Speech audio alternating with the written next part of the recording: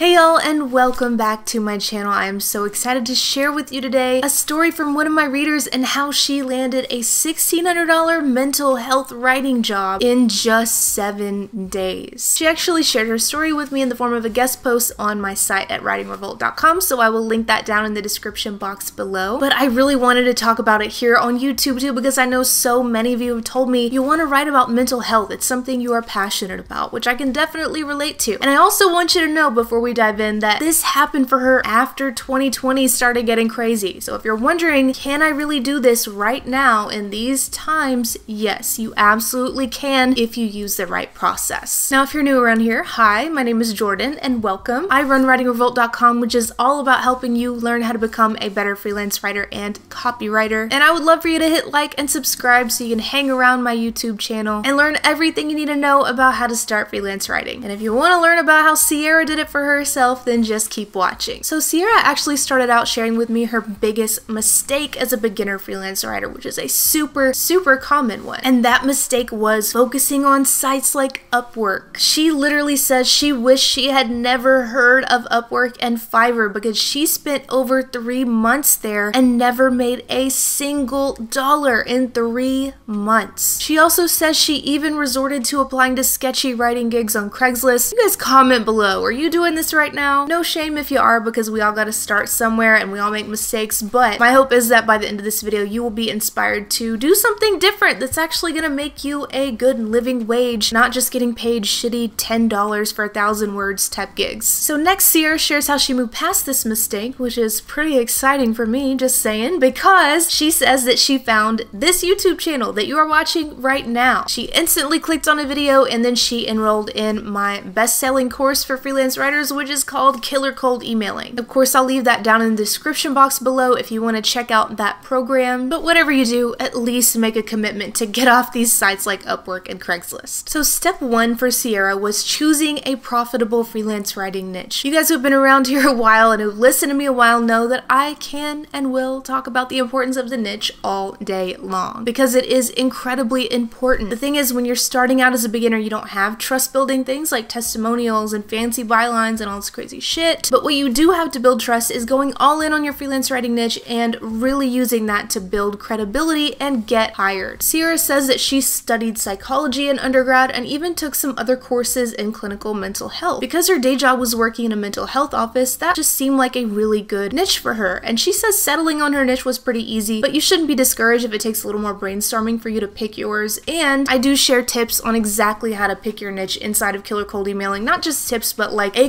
walkthrough. Like, we even have a lesson in there that says, What do I do if I still can't pick a niche? Because I know this is a huge decision and it's a very important one that's going to impact whether or not you succeed at freelance writing. But if you guys have any questions about how to pick a niche or what niche you are considering, feel free to drop them in the comments below. I'll also leave a link to my free guide with 101 profitable freelance writing niches down below in the description box for you and above my head right now. Step number two that Cierra shared was to set up her professional freelance writer website website. Now, before we talk about this at all, I gotta let you know I have a tutorial. It is free. It is a step-by-step tutorial on how to set up a freelance writer website that wins you clients even if you have no experience. This is something that you need to do. It's non-negotiable. You gotta have mybusinessname.com. So please don't put this off. Don't procrastinate it. Click the link. Again, I'll throw it above my head and down below in the description box. Everything you need to know will be in that tutorial. Now for Cierra, she actually already had a portfolio when she enrolled in Killer Cold Emailing, she says, but she realized she needed to overhaul it to really make sure it reflected her niche so she could get mental health writing jobs specifically. This is covered so in depth inside the Killer Cold emailing program, and it is something you absolutely must do. It is part of my pick a niche and make it your bitch thing that I like to talk about. You can't just choose a niche, you actually have to market your niche throughout your website and your guest post bios on social media, anywhere someone would see you online. And that is what Cierra has done. You can see that she doesn't just call herself a writer, she calls herself a mental health copywriter. That is exactly the approach that you need to be taking. Just fill in the keywords for your niche that you have chosen instead of putting mental health. And then Cierra goes on to talk about the method she learned inside Killer Cold Emailing, which says there is extreme emphasis on not having just a single portfolio page, but you need an entire website, and your writing samples are just one page on that website. That is so, so important. Again, do not leave this video without clicking that link to that writing portfolio portfolio tutorial, you've got to get that set up. You cannot have just a resume or a one pager unprofessional portfolio. You've got to have a business owner website if you want to do this and be taken seriously as a business owner. Step three that Cierra shared was further optimizing her writer website to get mental health writing jobs specifically. This involved deleting some of her old poetry and really just honing in on her one niche and her one goal with her website specifically, which was to land mental health copywriting clients. As I like to say, and as Cierra has said as well, you do not need your whole life story. You do not need to waste valuable real estate on your site talking about your passion for writing. Trim that shit